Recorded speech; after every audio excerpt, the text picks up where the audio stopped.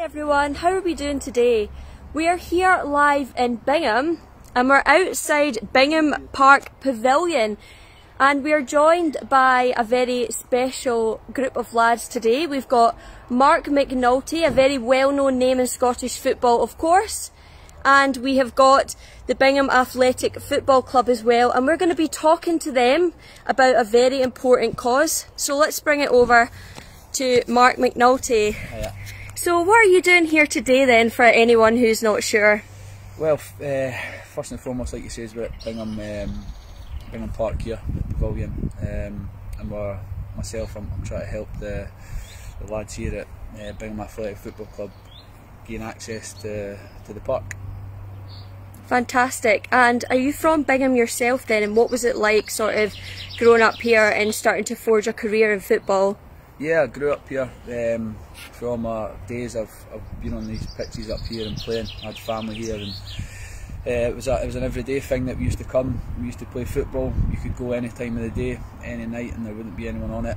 Um, but I think lately it's, it's been sort of passed over to other people, and the community of Bingham haven't got anywhere to go now. And it's got to the stage where I think something needs to be done about it. It's affecting the community and the, the, the boys that are trying to get on the pitch. So if there's anything I can do to help, them, I'm just trying to push it on. And um, do you think if the boys were to get into Bingham Park Pavilion, they would have a chance at having, you know, some of the success that you've had in your career? Absolutely, yeah. I think just speaking there to Reese, uh, some of the boys can't even make training because they're having to travel to Dalkeith and other places and stuff like that. So it's stopping, it's stopping people from uh, having that chance of playing football and giving them the opportunity to have the career that I've had. So if they get the chance to have something on their doorstep, uh, especially this area, not a lot of people have got the money to, for transport and stuff like that as well. So it's important that they, that they do get access to this and it's easy for them to, to get that opportunity. All right, thank you very much, Mark. I appreciate that. So, we're just going to introduce you now to Reese, who is the manager of Bingham Athletic.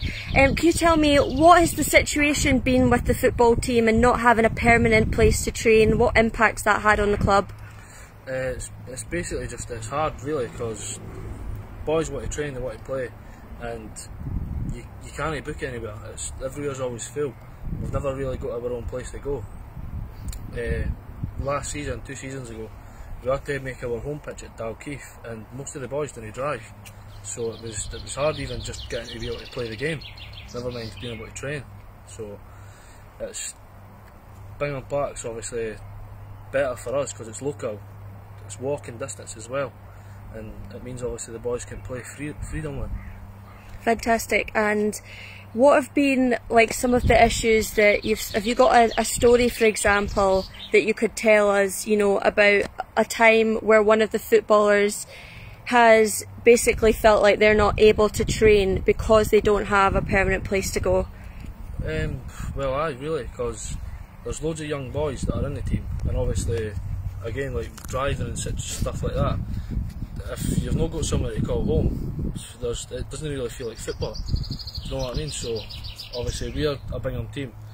Playing in Bingham will mean immense loads to the to the boys. So Brilliant, thank you so much. And then we're just going to introduce you to Hugh now. What's your position within the club? I am, for the moment, secretary of the football club. Brilliant. And can you explain to the people watching um, what it is that Bingham Athletic are trying to do to sort of take over Pavilion Park um, and, you know, how you think that will affect the club?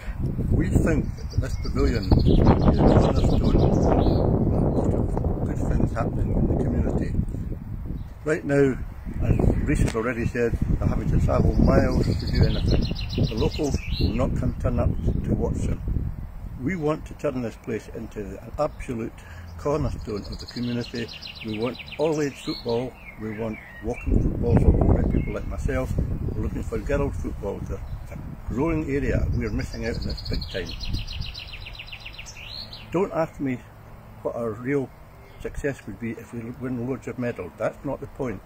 We want this place to be busy and to become a real centre for the community. Brilliant. All right. Thank you so much for speaking to me. Thank you very much. Really appreciate it. Thank you. Thank you.